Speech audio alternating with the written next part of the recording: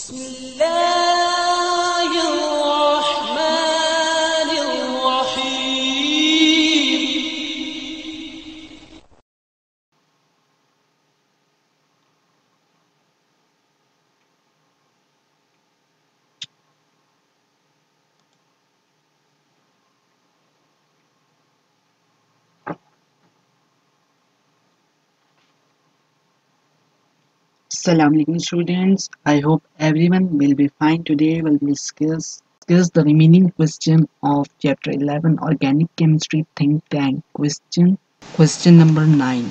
Bonding of carbon atom to heteroatom increases the number of organic compounds. Justify it. Yes, bonding of carbon atom to heteroatoms increases the number of organic compounds.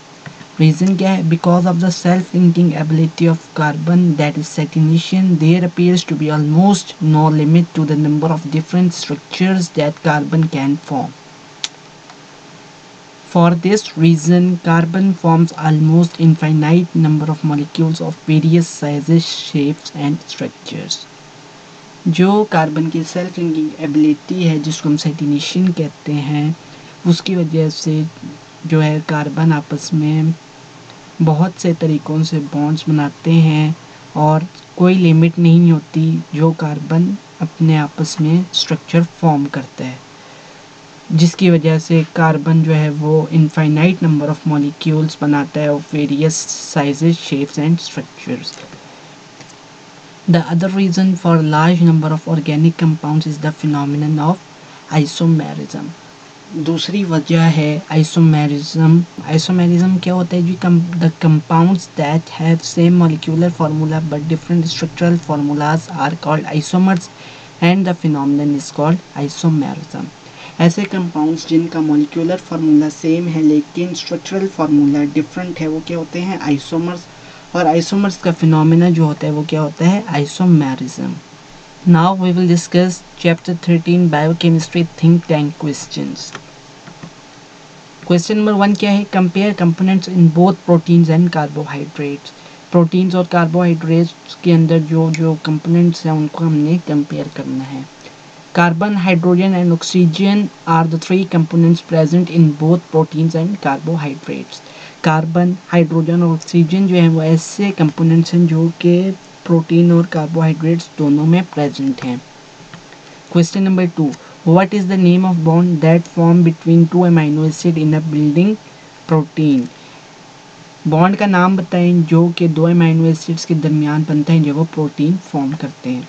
The bond that is form between two amino acids in building a protein is peptide bond and linkage is known as peptide linkage bond का नाम जो है वो क्या है? Peptide bond है और linkage जो होती है वो है पेप्टाइड लिंकेज। अब एक अमाइनो एसिड हमारे पास ये है और एक ये है।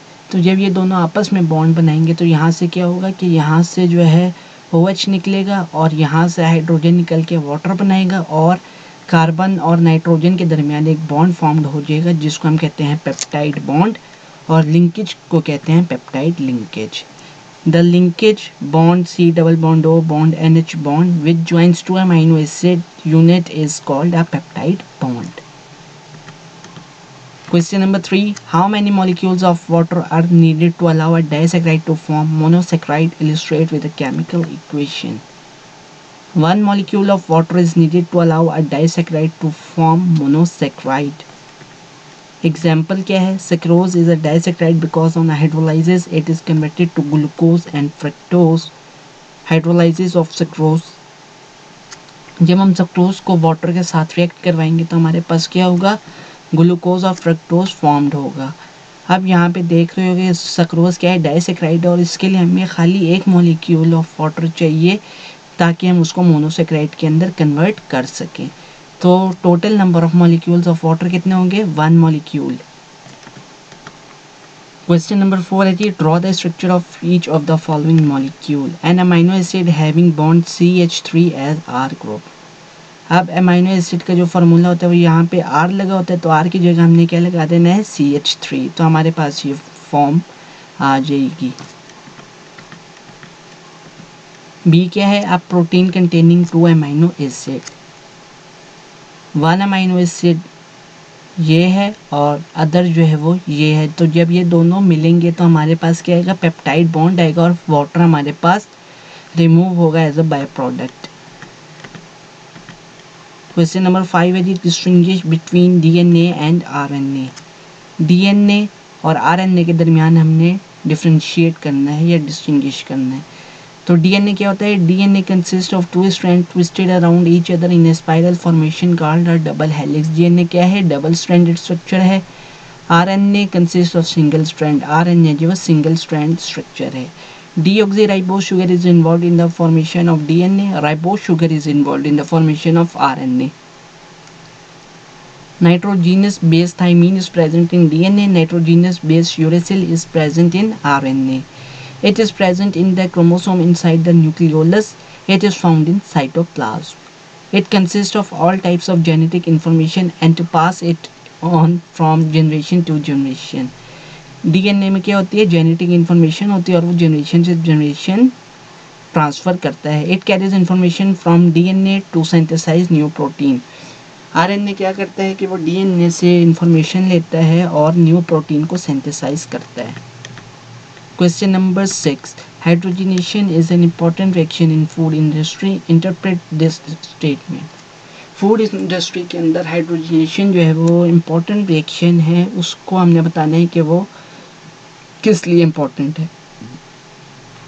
Addition of hydrogen to carbon carbon multiple bond is called hydrogenation this reaction take place in the presence of nickel palladium और platinum as catalyst this reaction is use to make margarine और vegetable ghee fatty acid component of vegetable oil contains carbon carbon double bond when hydrogen is added to these oils they become saturated and harder जो hydrogenation का reaction होता है, वो निकल Palladium या platinum के presence में होता है। और जब इसको फ़ूड इंडस्ट्री के अंदर हमने हाइड्रोजिनेशन को देखना है तो हमने क्या करना है? हमने वेजिटेबल ऑयल्स के साथ हाइड्रोजन को ऐड करना है तो वो हमारे पास क्या देगा? वेजिटेबल घी या मरग्रीन देगा। अब ऑयल क्या होते हैं? फैटी एसिड्स होते हैं अनसेचुरेटेड और जब हम इनके साथ हाइड्रोजिनेशन करेंगे तो क्या हो जाएँगे? सेचूरेटेड हो जाएँगे और हार्डर हो जाएँगे। Now that's all about think tank questions of chapter number 13 biochemistry. Thanks for watching. Please like my video and share my videos to other friends and press the bell icon for the subscription in order to get a notification for all the videos which will be uploaded in future.